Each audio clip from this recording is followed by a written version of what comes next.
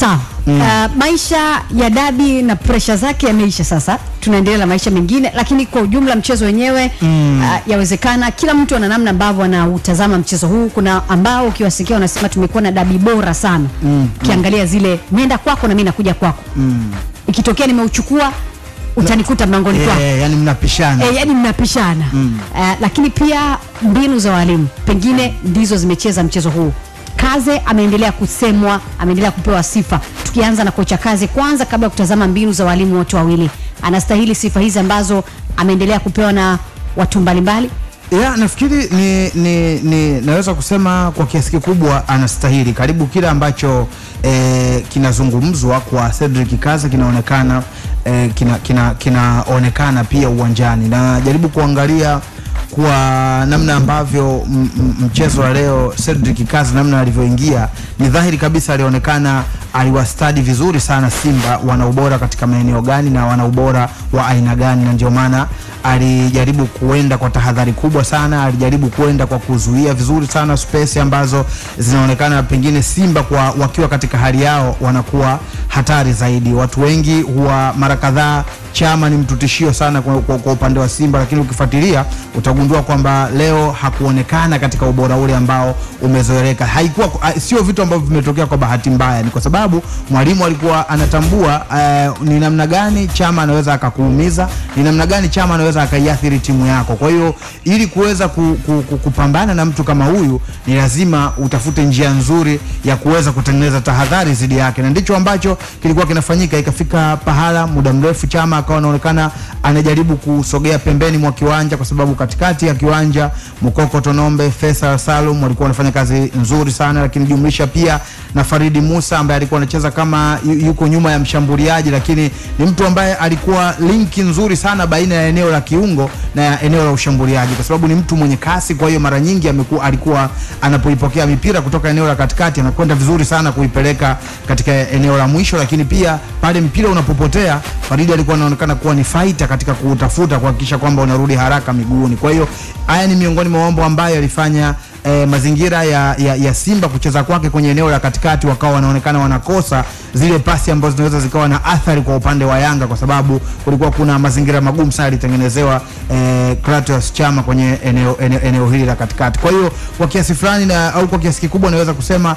Cedric Kazi alijaribu kufanya assignment yake vizuri, alichanga eh, karata zake katika hali nzuri kusema ukweli, na ndio maana akaendelea kucheza na kujikuta kwamba hapotezi mchezo, japokuwa ukiangalia pengine namna ambavyo eh, katika umaliziaji wa mechi eh, nafikiri kuna mazingira ambayo Simba walipeleka presha kubwa sana kwa, kwa, kwenye lango la Yanga katika dakika za, za, za mwishoni za kipindi cha, cha pili, hali ambayo ikasababisha Yanga kama wao wamekubali kabisa kuwapokea Simba kwa asilimia mia moja, kitu ambacho kwa kiasi kikubwa wakati mwingine unapokubali kushambuliwa kwa muda mrefu ukawa unapokea mashambulizi.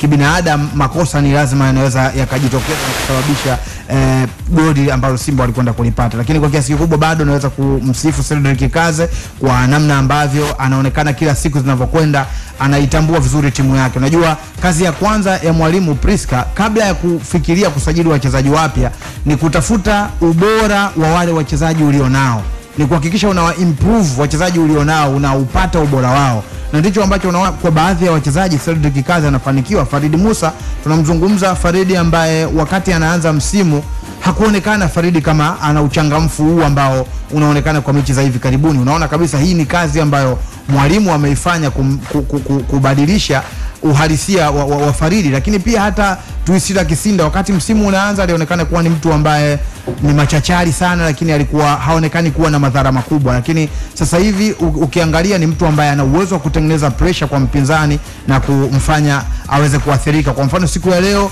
Tuisila hakuwa ana concentrate sana kuwa pembeni ya kiwanja muda mwingi. Mara nyingi alikuwa anaonekana ni mtu anayeingia ndani na kuitengeneza presha kubwa kwa mabeki wakati wa kikosi cha Simba, na mwisho wa siku akasababisha kosa ambalo Onyango alikwenda ali, ali, ali ali kulifanya. Kwa hiyo kazi nampa credit kwa hilo, lakini pia uh, hatuachi ku, ku, kumpa eh, credit kocha wa Simba Sven, Sven. eh, ambaye na yeye ukiangalia namna ya, ya, ya, ya kikosi chake nimeona alifanya sabu ya, ya, ya mapema kabisa second half, sabu ya kumtoa Lari Bware na kuingia e, mchezaji eh, huyu e, Dilunga Dilunga aliingia. Hassan ambaye ukiangalia Lari Bwalya namna ambavyo alikuwa akipiga pasi nyingi sana ambazo zilikuwa hazina faida. Alikuwa akipiga sana pasi za nyuma ukiangalia, lakini pili, la Alibwalia ni mtu ambaye hawezi hakunufaishi sana katika eh, ukabaji, kitu ambacho pia kwa upande mwingine kilikuwa kinaiathiri Simba kwenye eneo la katikati, na mwisho wa siku akampeleka Dilunga ambaye kwa kiasi fulani ni mtu ambaye anaweza kugongana ana, ana, ana, ana uwezo wa kusaidia sana kuipeleka ti, ti, timu mbele, yuko yuko direct zaidi kuliko namna ambavyo Lari Bwali alivyokuwa. Kwa hiyo unaona kwa, kwa, kwa pande zote ukizitazama, Priska, walimu wanastahili kupewa credit na eh, kusema ukweli ilikuwa ni moja ya, ya dabi ambayo pia zinakaa kwenye kumbukumbu kwamba ilikuwa na mvuto kwa miaka ya karibuni, labda pengine ni kwa sababu ya kuwa na maingizo mengi ya wachezaji wa kigeni, lakini dabi inaonekana imebadilika, imekuwa ni, ni, ni dabi ambayo mpira kweli unachezwa uwanjani, ni tofauti na tulivyozoea katika nyakati zilizopita. Sawa, tutarudi tena hapa na maswali mengine machache kwa ajili ya mchezo huo, mchezo ambao pia umeshuhudiwa na wapenzi wa soka maeneo mbalimbali hapa nchini na nje ya nchi, ambapo mkoani Mbeya wadau hao walikusanyika eneo moja kutazama mchezo huo, na wamezungumza na mwenzetu jirani Mtembezi kwa ajili ya kuweza kutoa maoni yao ya kile ambacho wamekishuhudia kwenye dakika 90 za Yanga dhidi ya Simba. Ninachoweza kusema piska Kishamba na wachambuzi mliopo hapo studio siku ya leo, kama ilivyo desturi, wanapopambana mafari wa Kariakoo, baadhi ya shughuli hususani kwa wapenzi wa kandanda husimama kwa muda. Mkoa wa Mbeya ni moja ya mikoa ambayo siku ya leo pilikapilika na baadhi ya kazi zilianza kusimama tokea asubuhi kupisha shamla shamla na tambo za majigambo kutoka kwa watani wa jadi kabla ya kuanza kwa mchezo wenyewe. Mnyama tafuna, anashinda, anakula, atoki mtu. Nasemaje? Tanzania hii hata aje Madrid atakaa. Sisi ndio Yanga, timu ya wananchi, tumerudi na ubingwa wetu tunautaka. nje na ndani ya vibanda umiza, watu wenye umri tofauti walijazana lengo kushuhudia mtanange huu ambao huteka hisia za wapenzi na mashabiki wa Simba na Yanga. Sports Extra ya Clouds FM ilipata wasaa kushuhudia mtanange huu kwenye moja ya vibanda umiza maarufu maeneo ya Isyesye hapa jijini Mbeya na kupata nafasi ya kuzungumza na baadhi ya wadau wa timu zote mbili ili wauzungumzie mchezo na walivyopokea matokeo ya mtanange wa leo. Naitwa Bernard Ango Mwile Mwankenja Kikuku. Sisi ndio Yanga, timu wananchi, tumerudi. Yaani Simba leo washukuru Mungu, wana bahati yao, yaani wao ndio wanatakiwa washukuru, ndio maana wameshangilia sana kupata draw, kwa sababu zile goli tulikuwa ni ushindi. Kwa nyinyi Yanga mmehuzunika na hii hii draw. Vibaya mno, tumeumia, hatujisikia hata kula kwa sababu hatukushakamata kila idara. Kwa jina naitwa Shakila Mwakibinga, ni shabiki wa Simba damu kindakindaki, na nikajua kabisa leo sio kwamba Yanga watatufunga, hapana. Na shanga na Yanga wamebahatika kwa ajili ya ile penalty, lakini umeona mchezo, hata umeika kaka, umeona mchezo unaoendelea ni mchezo wa design gani? Sio kwamba Yanga walikuwa kutufunga sisi. Kwa matokeo haya sasa, nikupe pongezi ama nikupe pole? Mina ah, mimi nadhani nipe pongezi, maana sisi Simba kama Simba, Simba kashinda kiwalali, achana na penalty ya Yanga. Kwa hiyo unipe hongera.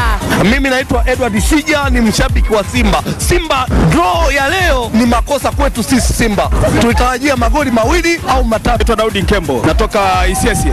Bwana, mimi najua kabisa mchezo wa leo kwa kweli Simba ilikuwa kwenye matatizo makubwa sana. Kwa hiyo nashukuru sana Yanga, mimi wamejitahidi sana. Jina langu naitwa Emmanuel Mwakagenda. Eh bana, matokeo ya leo upo sehemu ambayo takiwa wapewe pole ama wapewe hongera? Kwa Simba kwa kweli wanatakiwa wapewe pole. Wanasema eti Yanga tumepewa goli la penalti. Wao mbona hajapata? Mchezo kiujumla umeonaje? Mchezo kwa nzuri.